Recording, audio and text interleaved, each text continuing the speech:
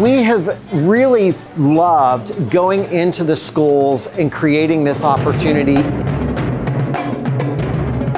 Now I'm here to tell you that you are the newest recipient of the Marian Spencer Scholars Award.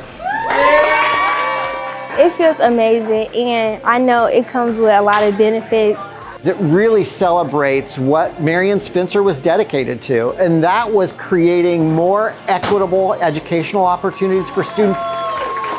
She has fought for a lot of equality, equity, diversity, and that's why the Marian Spencer Scholarship, like people like Josh and me are recruited to uh, help push on that message and to further our education. I want to study civil engineering so that I can create new systems for transportation.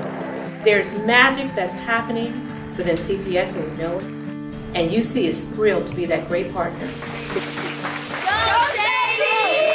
I'm looking forward to studying mental health. I want to learn about human body, nutrition, aligned health science, and I'm going to be going into surgical technician. They are absolutely the future leaders of this city. And I really appreciate every single thing this district has done for me.